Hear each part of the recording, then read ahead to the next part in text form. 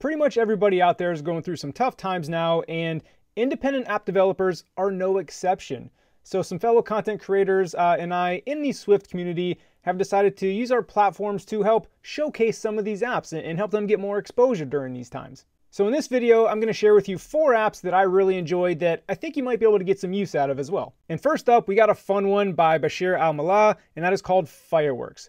Now, if you're familiar with SpriteKit in the world of iOS development, uh, SpriteKit has particle emitters, and they have this nice editor similar to what you see here on the screen that you can make tweaks and make changes and see those happen in real time.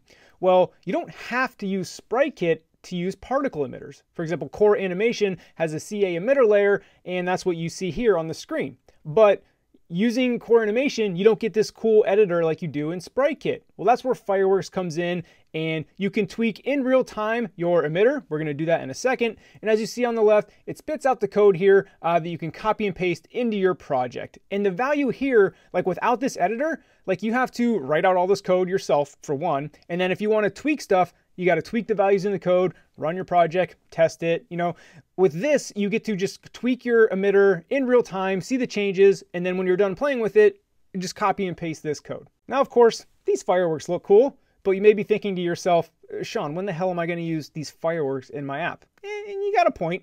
I mean, I can see some celebratory screen where this may come in handy, but there's plenty of other emitters that may have more realistic use cases. And let's go through them. So you go up here to File, uh, Start, and you see uh, we have a comet.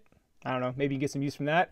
Uh, we're going to tweak some here in a second. So let's actually go to confetti, right? You can see where this could come in handy. And of course, you can change the assets that make up your confetti. You know, the background color is white now, but we could, you know, take the background color to, you know, clear. So whatever you put this on your screen, it just comes up on your screen real quick.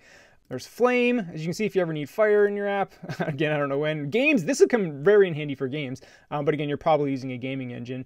Uh, mystery, I want to get to uh, flame, uh, rain here real quick, right? Because if you're building a weather app, you can imagine how you might want this subtle rain effect going on. And here's where you can actually play with it. So over here on the right, like you see birth rate, 555. Maybe you want light rain. Let's take it down to 50, right? Okay, very, very light rain. Wow, man, what if it's a downpour? Let's go to like 2000.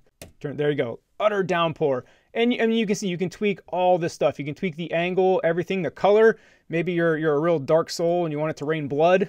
Cool. Um, but you can see you can just sit here for for days and play around with all these different properties to tweak it to be like how you want. Um, maybe you're building again a weather app. Let's go to snow. Uh, you know, maybe you're building a skiing app or something to do with weather and you want this very subtle snow effect. Again, birth rate 92. You can change that down to like 20 to get real light snow. And again, you can tweak all these dials to be what you want. And then, like I said, the code is here on the left and you got your CA emitter layer.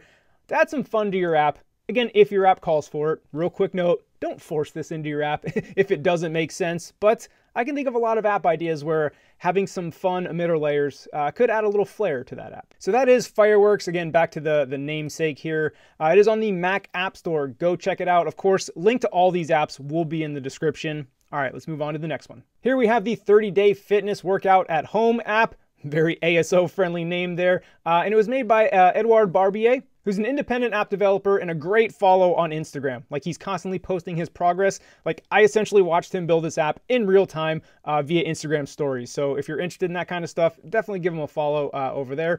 And this app offers fitness challenges that you can do at home with no equipment.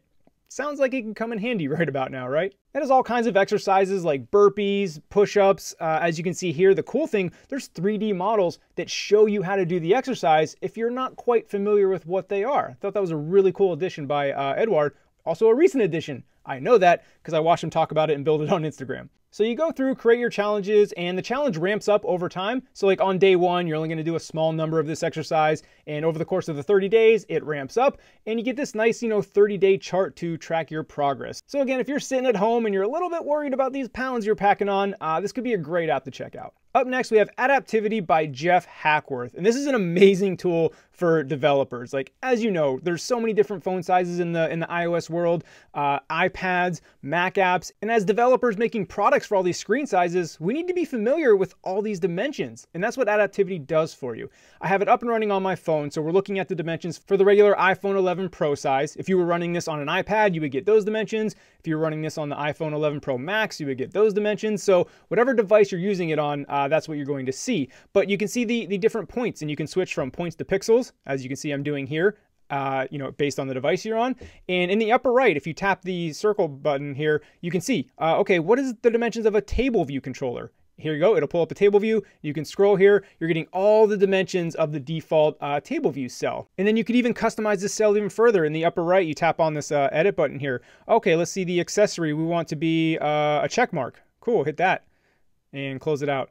Now you can see very faintly uh, to the right, we have our check mark. So you can see what that looks like. So really what this app is all about, uh, let's go back to this and see, okay, what is a, uh, what, are the, what are the keyboard dimensions when the keyboard's up there, right? So you see the keyboard and you can see the dimensions on the screen have changed. So really, uh, we'll do one more. modal view controller, right? So the modal view controller slides up and you get all the dimensions for that. So you can look at the various states of your, your device. And again, if you're on an iPad, you could do like split view controllers, uh, master detail view controllers, same thing with a Mac app. So whatever device you're on, you can see the dimensions that you need to know as a developer, like using these apps, like the safe area inset.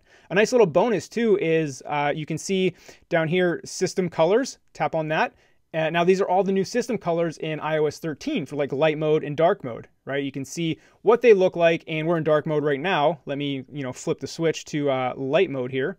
Bam, light mode, it's blinding. Um, now you can see what these all look like on light mode because they're different in dark mode, right? Like look at label. Label right now is basically black. Flip back to dark mode and now label is white. So you get all these system colors in the app uh, that you can check out. And same thing with dynamic type. You can see what that will look like. So just a, a, overall great tool for developers. And again, you're seeing the demo on just the iPhone. Whatever device you're on, uh, you will see those dimensions. And that brings me to the point that this is a universal purchase, which here in April of 2020 is, is a brand new thing. So you buy this app once, you're getting it on your Mac, you're getting it on your phone, you're getting it on your iPad, and it's only $4. That's a steal. And if you're a developer, I mean, I'm not trying to spend your money, but to me, this is a no brainer. I mean, there's so many different screen sizes. Like, this is valuable, valuable knowledge. And for four bucks, come on. So, again, it's called Adaptivity, and it's a great tool from Geoff Hackworth. And finally, we have BookTrack by Simone Montalto. The reason I like and chose this app is its, its simplicity, clean, minimalistic UI. It does one thing and it does it well, right? It doesn't try to do too much. And I really like that in my apps. And as you can imagine by the title and what you're seeing on the screen, it's a way to track your books. Like you have the books currently in your library, uh, you can see you know the details about them. This is what you you you have read maybe. But what I like is the wish list, right? Like right now my wish list is empty. I don't know about you. I watch a lot of YouTube videos or, or listen to a lot of podcasts where they may recommend books. And yeah, I have like a notes thing where I try to keep track of them, but uh, this is really cool to legitimately keep track of some books. So if like I want to read, you know, like the Blue Ocean Strategy, Blue Ocean Strat G. Search online.